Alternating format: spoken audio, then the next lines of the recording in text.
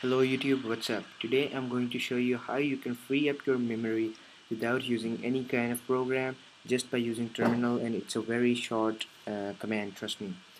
Now oh, when you want to free up memory uh, for the usage of uh, heavy memory taking programs like uh, you call it Adobe Photoshop, Final Cut Pro, iMovie and you want if you don't have enough memory you want to free some memory because uh, it will run more efficiently if you free up some memory. And for that purpose you have to download programs and these programs are very famous among the app store but uh, some of them are paid some of them are also free but why use a program and use you can use a simple command line in terminal? Today I'm going to show you how you which uh, is that uh, command line and how you can free up some memory.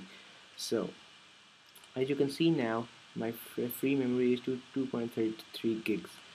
So yeah I freed it uh, before starting this video so there won't be a lot but trust me it works. Now when first you open you uh, you have to open terminal and once once it's it's open go ahead and type in purge. Simple know when it's done.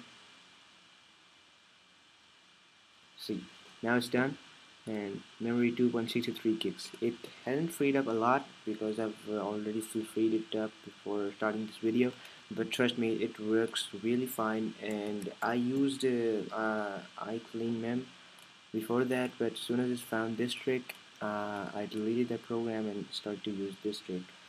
So yeah this was my video showing you how you can free up your memory just by entering a command terminal go and like rate and subscribe to my channel for new uh, and good videos.